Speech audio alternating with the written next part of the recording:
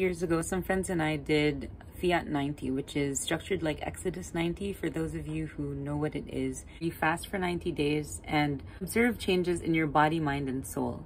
This experiment has been largely structured, although it has been modified around Fiat 90, just because I've already tried it and I know that it works. Now, I wanted to talk today about fiat because this is one of those topics that really made a huge difference in my life. Those 90 days, they were the desert that I needed to prepare myself for lockdown. And I'm still benefiting from the fruits of that process. And so why not go back to that, right? After all, this is psychological development of teachers. And if I'm going to keep track of the changes that I've been experiencing, I think this would be a good place to start. Now, in Latin, fiat means let it be done. And this comes from when Mama Mary said yes to becoming the Mother of God. Mama Mary's yes was the most important fiat that the world has ever seen. It's a great example of exercising free will.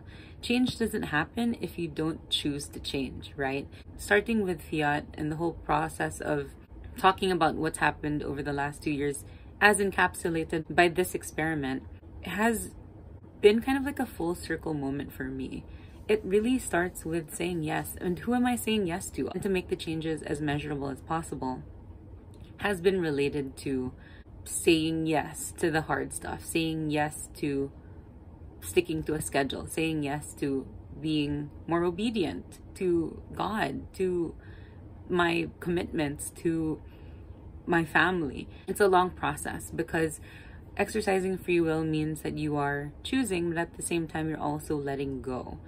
And being able to let go is still something that I'm struggling with, and it's something that is difficult to, to do because to want to be in control of the outcome.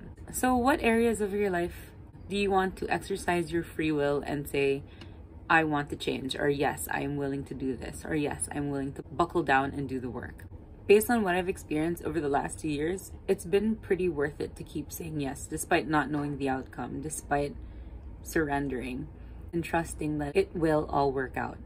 After shooting Fiat, I realized I should talk about trust and surrender. I'm just going to record all of this and then release it over the next few days because I feel like this is too big a topic. I don't think I'll even be able to cover everything, but I do want to share the process of growing in trust and surrender. Those are really big concepts. I'll probably, those are really big concepts. I should